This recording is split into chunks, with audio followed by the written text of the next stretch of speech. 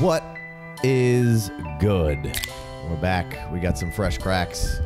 We got a full squad today. We're going to hit you with some dynasty running back rankings. Going to go top 13. We're going to hit you with them all at once from uh, the three of us. We got Big D, we got Big Co, we got Jay Waynes on the ones and twos.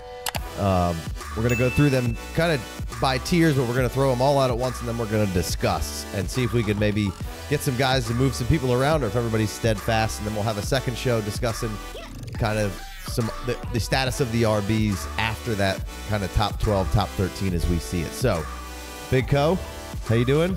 Doing well. Let's do it, man. Big D, how you doing? Living the dream, brother. Living the dream.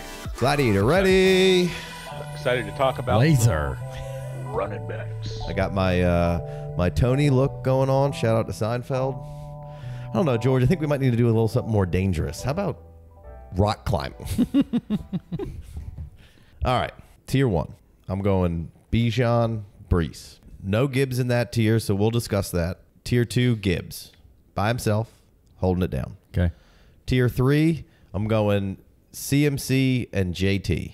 All right, we got letters, letter names, tiers. Tier four, I'm going Kyren, ETN, Achane, and Kenny Walker's kind of pulled off to the side, and we'll discuss. Next tier, we got Saquon and Jacobs. And the last tier, and this gets us over 12, we're going to 13, so the top 13. I got Trey Benson and Brooks going young guys there, and, and we'll, we'll we'll talk about all this as the show progresses and, and the hows and whys, and maybe people need to be up and down. Big Co, where are you at with the top 12 running backs in the landscape of dynasty fantasy football right now? Yeah, let's do a little bit of shuffling. Tier one, I got Bijan and Breece. Um, you literally can flip a coin on either one of those guys in my eyes. Tier two is Christian McCaffrey by himself. Ooh, So you had Gibbs, I got McCaffrey. Tier, Racist. tier three, Gibbs and Taylor. tier four, Achane and Williams. Achane. And then tier five is ETN, Barkley, Kenny Walker, Brooks, and Benson. double tier. All right, got a big tier at the end. All right, I like it. I like it. Big D, hit us up with your top 12, and we can we can get into the discussion. The Manouche. Sounds sounds good. Yeah, I've got the the three uh, amigos in alphabetical order: uh, Bijan, Breece, and CMC. Ooh, We got JT uh, Gibbs and the Slippery Dolphin in tier two. ETN, Barkley, Kyren Williams, Ken Walker, tier three. Tier four, we got Josh Jacobs, Trey Benson, Jonathan Brooks, brings me to 13. And 14, bonus, James Cook. Ooh, Cook, Bonus. Cook. First, first mention of Cook. Uh, like I said, we'll do a second show, kind of discussing the, the the landscape behind these guys right after this one. So make sure you're like, subscribed, all that jazz. So that comes right to your fingertips. Okay, let's start off with Gibbs, and then we'll move to CMC because I think that those were our biggest differences, kind of right off the rip. There you go. So nobody had Gibbs in the first tier with Breece and Bijan, right? Right. Correct. You could argue Gibbs had more explosive, better games down the stretch than Bijan, Oh, for sure. but what keeps him out of that top tier for you guys right now, Big Big Co? for me, the total all encompassing bell cow usage of a running back kind of comes down to Bijan and Breece and Christian, and Christian McCaffrey as far as, you know, teams lean on you to get the job done. They hand you the ball a bunch. They pass you the ball, pass you the ball a bunch, and they use you in the red zone. You get the goal line carries, et cetera, et cetera. We we all anticipate growth from Gibbs this year. You can only see it it, it was non-negotiable what happened last year for the Lions. He started out slow. He was a rookie. They were working him in. He crushed. He got better. There was a couple of games where he was absolutely ridiculous. He was the best player on the field. So we don't. I don't think anybody that watched any football last year, or even if you can just read game logs and figure and look at the numbers, I don't think anybody thinks that Gibbs isn't going to take a step forward this year. Mm-hmm. He's not built to be that every down, all all the way across the field, all the way down from you know twenty to twenty. I'm you know I'm talking Breece and Bijan and Christian McCaffrey. They're goal line to goal line backs. Mm-hmm. You're not taking them off the field at all unless they need a breather. Right. And Gibbs may end up being that one day, but he's just he's not as uh, physically imposing. Now he might be a little bit more electric in, in, in some instances. Breece Hall could, definitely be is uh, electric too, and, and and but just he's doing it at 225 pounds. I just feel like Gibbs is, you know, his total yards is going to be awesome this year. His you could have a little touch rushing touchdown regression potentially. You know, you, 10 touchdowns on 118 carries, which Regression is you tree. know fantastic. But I believe he's going to get more catches, and you know, receiving yards are going to be ridiculous, and the offense another level of offensive progression for the Lions this year. I mean, Gibbs is a beast. He really is, but he's not goal line to goal line necessarily all the time. He did do well rushing between five yards a carry. You know, Yeah. can't can't argue with that. Big D, what's your stance here on? Yeah, I mean everything that you just uh, Big Co just you know said, I can echo. I mean week seven through um, seven through seventeen, I believe. Uh, no, seven through fourteen. Uh, week seven through fourteen, he was the number three points per game running back. Kind of came back after that injury, and and that's when he started scoring touchdowns. There could be some regression, but he also had the first quarter of the of the the season where you know he wasn't quite scoring them. But for me, it's just the the offense as a whole more so than Gibbs. Kind of what you said. It's he's not the lead play there in my opinion. There's there's a lot of great talent on on Detroit. Um, there's a lot of great talent on San Francisco too, but CMC is another level. There wasn't a lot of talent on the Jets, and Breece was still a monster, you know. Um, and and then Bijan, of course, he's he's he's you know, we'll see this season, but I, you know, I'm I'm pretty sure that having Bijan one is is there, he's going to prove a lot of us right this season. We'll, we'll just say that. But but for me, I mean, Gibbs is is right there. He's just kind of he's kind of on the outlier, mostly because of the offense and and uh, you know, let's see if he can stay healthy for the season and and keep it keep or relatively healthy, right? I mean, running back's a hard position. Uh, so there might be a, a strain here or there, but uh, but if he can if he can get that full game load and um, start having game plans set for him, then you know we might be talking. Um, Yeah, I think this comes down to just everything you guys said that that he's not. I, look, I had him in the, in tier one. I moved him down. Move, I moved him back and forth. So I gave him a tier by himself. That's kind of why I put him over there by himself because I think he is um, just outside of those guys because he has another really good back in front of him who they're going to utilize. They're going to be a one-two punch. Can Gibbs certainly be an RB one with more limited touches than the other two guys?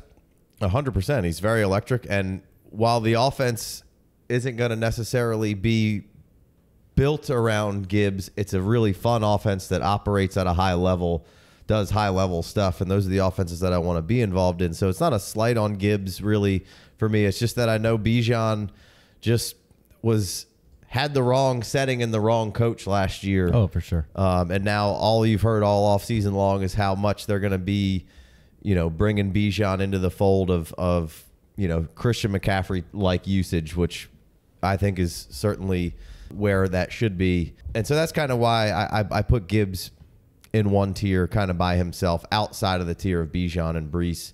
Um, you look at the ADP, uh, two two for for Bijan, two seven for Breece, and two nine for Gibbs, and then CMC comes in at two eleven. So those guys are all filtering in as as you go along in the second round. And I guess the other part of it is is when I miss on Breece and Bijan, I'm not like immediately going to see if Gibbs is there. I'm I'm usually I usually start looking and seeing who else is around as well. That, that kind of led into some of my decision there because I'm not immediately like, oh well, Breece and Bijan are going on. Gibbs is still there. I'll I'll, I'll smash him regardless because it pretty much gets to a point where it's like I'm gonna probably smash Bijan or Breece regardless here, and then I'm like, oh Gibbs, yeah, I want to take Gibbs, but is Garrett Wilson still here? Is Right. you know is this guy? You know, I'm not saying that I wouldn't take Garrett Wilson over either one of those two backs, but you know, I, I just that that that kind of weighed into me splitting him into his own tier there. Yeah, and I, the, the wrap that up, I just I don't even know if Montgomery's in front of him anymore. Definitely No, but it's bes- gonna be you a know, bes- split. for sure. That's like beside him. The other two guys aren't splitting. Not at all, and that there's there's a difference right there.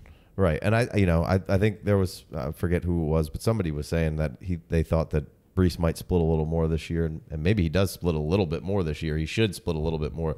Allgeier should take a little bit of Bijan, but those He- guys he should did, be. he will, yeah. he absolute. should he should see better fronts too. That's Right. that's the other thing. I think the thing for Gibbs too is I just gotta I gotta price check his hands this this year. He had a lot of targets, but I think he was like at in that middle season like a 75% catch rate or something something to that effect. Um, when we're talking elite, when we're talking top tier, I always use the stats seven week, week seven through 14 for new viewers out there, just because it kind of gives me a, a a picture of what it was leading up to the playoffs. Kind of excludes the playoffs and it kind of takes the middle season, and so it's not it's not the greatest indicator. But during this during that stretch of time, CMC was at 82% and Breece was at 85% and Kamara also was at 85% just FYI but Mhm. but uh, point being is that he had a lot of targets but you know whether that was on him whether that was on Goff but that's kind of what I'm talking about is the offense is uh, great at home and kind of challenging on the road or, or not consistent on the road and so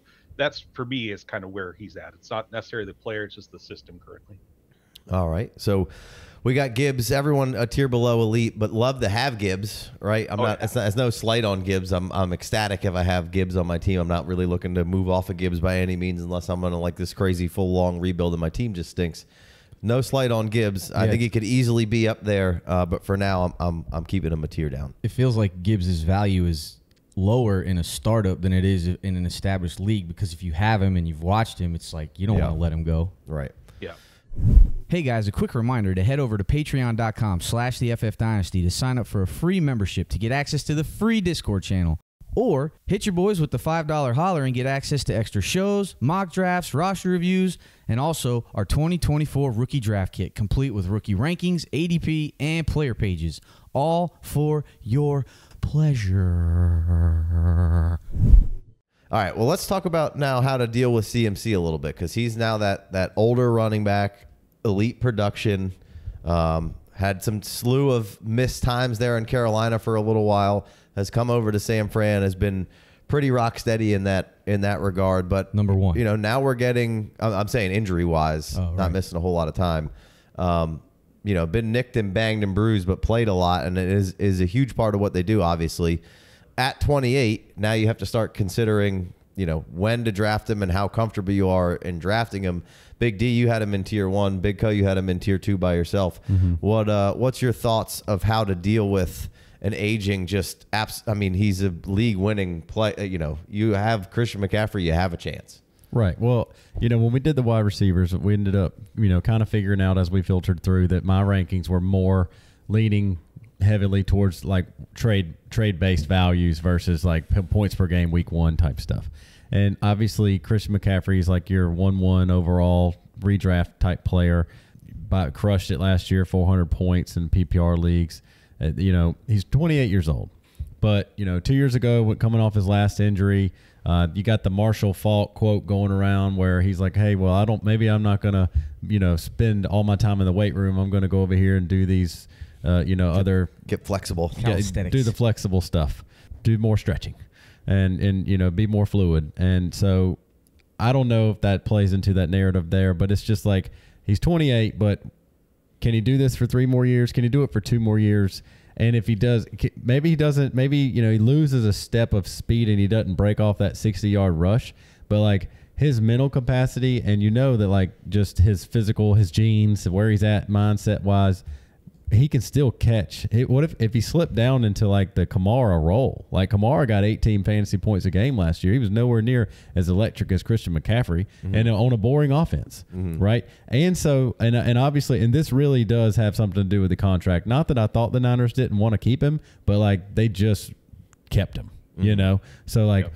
you, you're you're in the Niners for two or three more years, and even if he loses a step, he's got so much in that offense and in his personal mindset and his physical abilities, like his catching game prowess, like as a PPR monster. You know, he could. He's got two steps to lose to become Matt Forte. Mm-hmm. Does he want to physically do it? Does he want to handle? Does he want to put his body through that for three or four more years? I don't know, but if he wants to, we all think I, you should think he can. Yeah. So that's I got him in a tier by himself in tier two. If he was three years younger, he would be. Uh, I'd have him over Bijan and Breece because in this system with the Niners, why not? And what you Right. what you just saw last year was by far and away the you know the the game breaking type running back.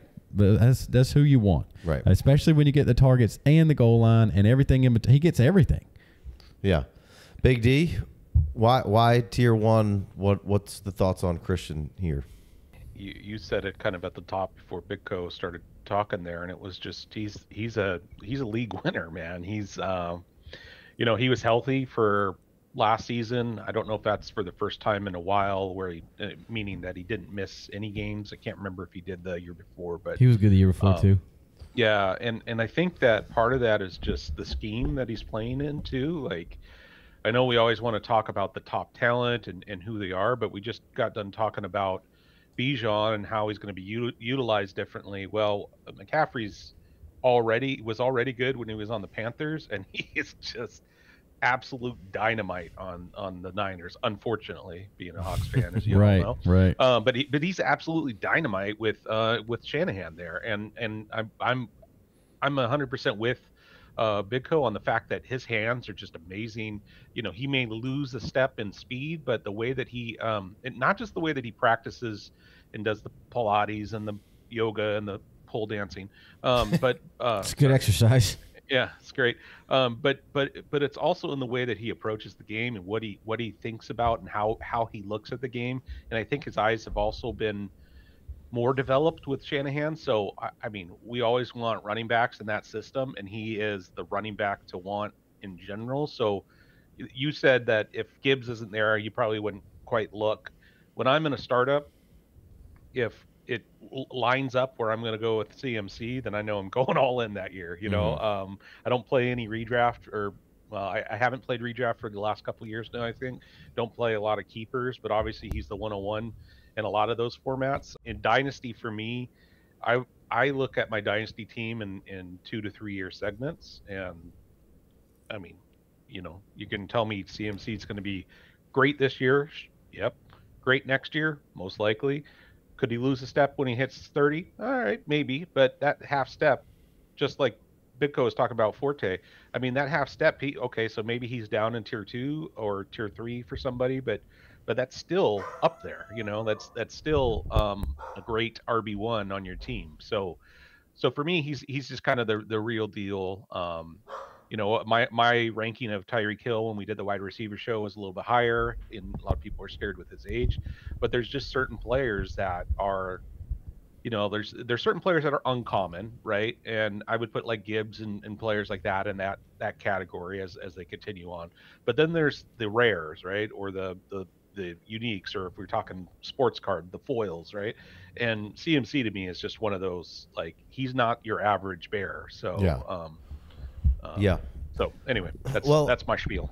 I did also want to, you know, obviously the league has shifted in how we, we approach the running back position, how how they approach it, and then that trickles down to how we have to approach it. Um, but we had a slew of guys th- throughout our fantasy tenure here exit early, um, bef- pre thirty, and, and and slow down and leave and have injuries.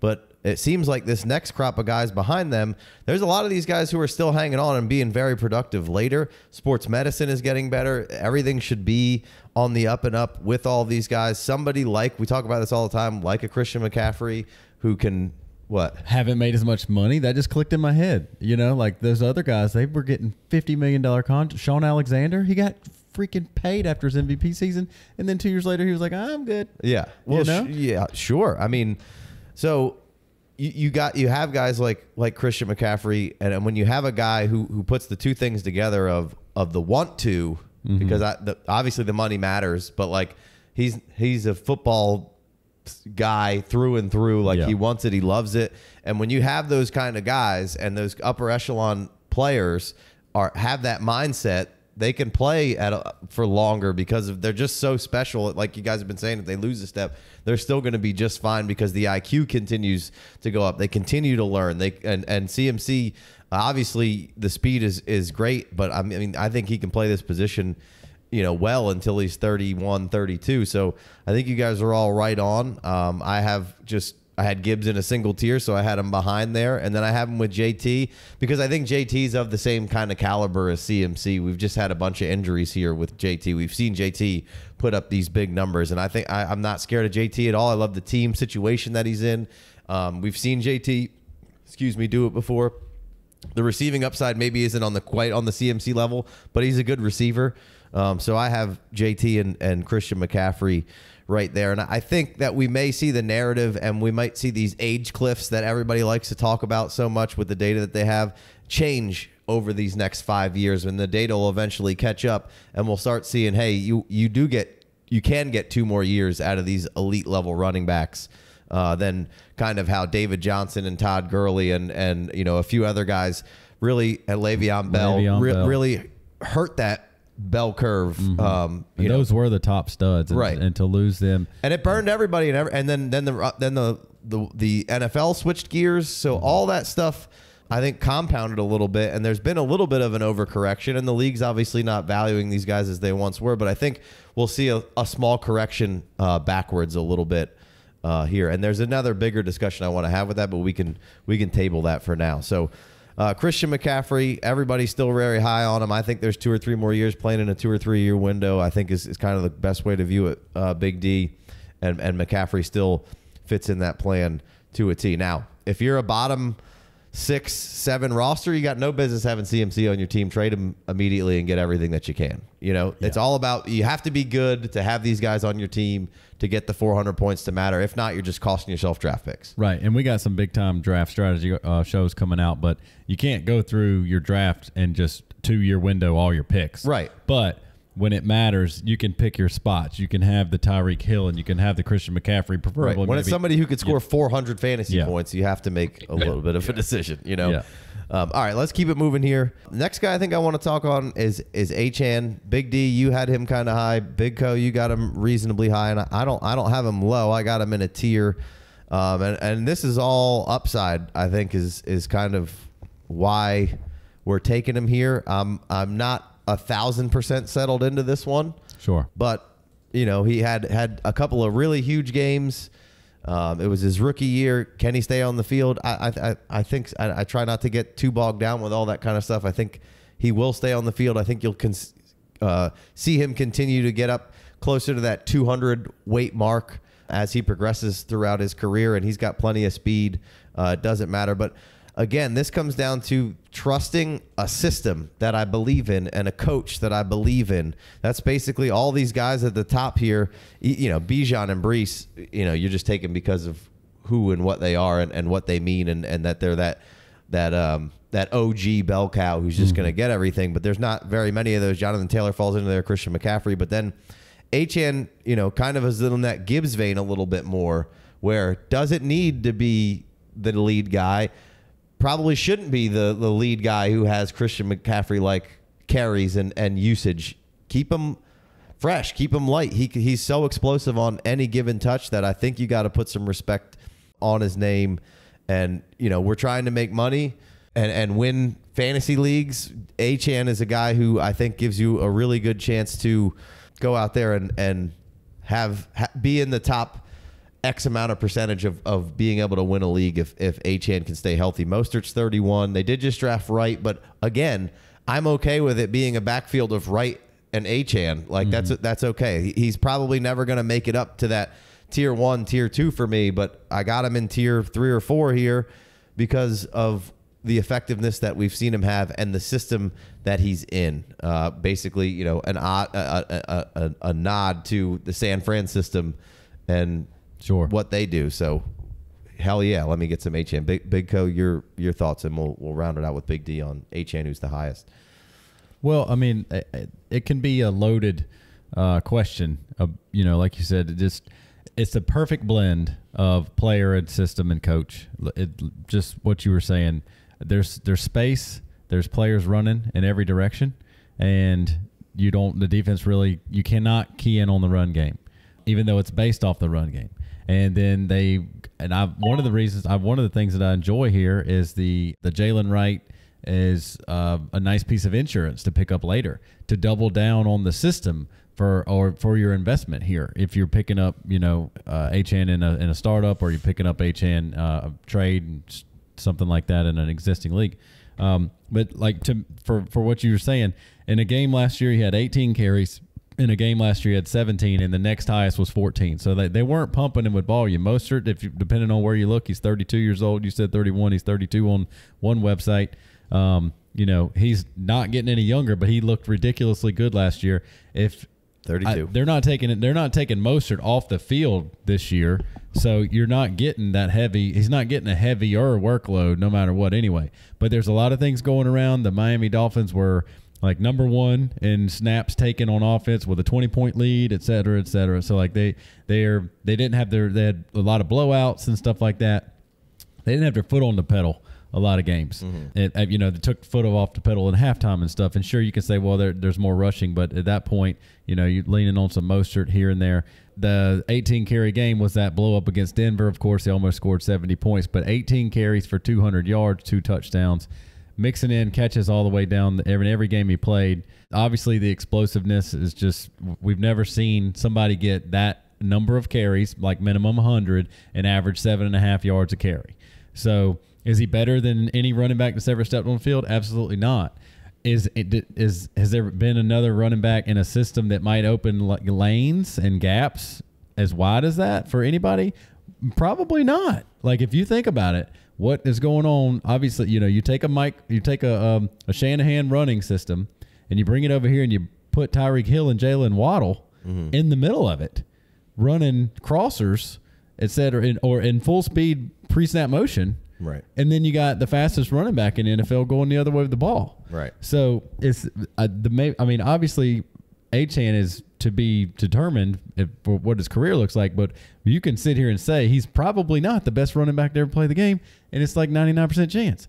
But the mixture of the system mm-hmm. and his ability puts him at the tip top of anything we've ever seen because you've never seen a player get that much running steam. You know, like you can't. There, Yeah. I don't know, and, and I'm not saying it depends on Tyreek Hill, but it sure as heck helps. Sure, sure.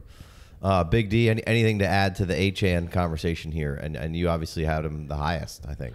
Yeah, I have him the highest because it, you know it's it's all an upside play for him, um, but it's more than just upside. Big Co kind of highlighted that, but there's some stats out there like he's the only only two rookie running backs have ever posted 17 plus PP points per game on a sub 40 percent carry rate. That's Alvin Kamara and Achane. Catches. and uh, yeah, for catches. Um, for and and so, and that came from um, the FF newsletter, which is a is a great little email newsletter if if anyone. But but I mean, it just kind of highlights. You know, he led all backs on Miami with 37 targets, 27 receptions, which was uh, 197 yards and three touchdowns. But he barely played, man. Mhm. Like I mean, like Yeah. you know his his his speed is just off the charts according to next gen stats he you know his average speed off the line of scrimmage is 12.2 which led the nfl the only uh, player christian mccaffrey recorded more rushing yards over expected than achane.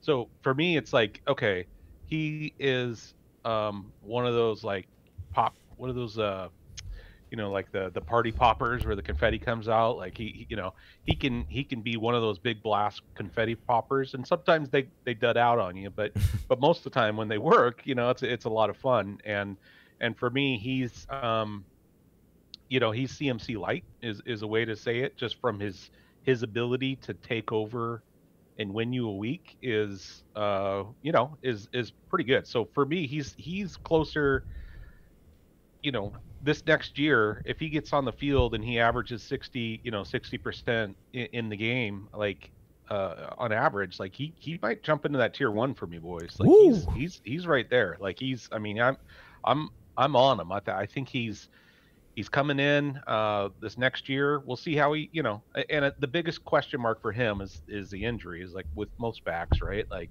if he if he he needs this you know what is that uh best availability is you know Best ability is availability. yeah, exactly. So, like, that's the biggest thing for him. But if he's on the field the same amount of percentage as most backs, he's going to outscore them. And um, unlike Gibbs, I, I I trust that offense um, in Miami uh, to to you know similar to the Shanahan offense is to, to score points at the running back position. And uh, yeah, so anyways, for me, it's it's it's he's a moonshot and.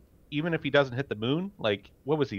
He was wide receiver, not sorry, he was running back 24. So he was a RB2 off of, you know, one, let's see, one, two, three, That's just total four, five, points, six, Giving him 24 seven, eight, nine. Yeah, like 10, 10 games, I think, or eight games that he actually played more than 10% of the snaps. Like, right. and- and Obviously, he's you get a RB2. 70 point game or whatever it was in mm-hmm. there. That, Sure, yeah, you know, you, you got some big, big, big chunk games, but I mean, just the point. there's so much more to him than Yeah. that, right? Yeah, Yeah. yeah, That's yeah, that's the thing is it's it's not just he he's breaking off 75 yard runs, two, two or three a game. I mean, the dude is like he's electric in the short field. He can get you the first down. He can he can run um, cross patterns. I mean, he can catch um, with the best of them. So yeah, sky's the limit for me with uh, Mr.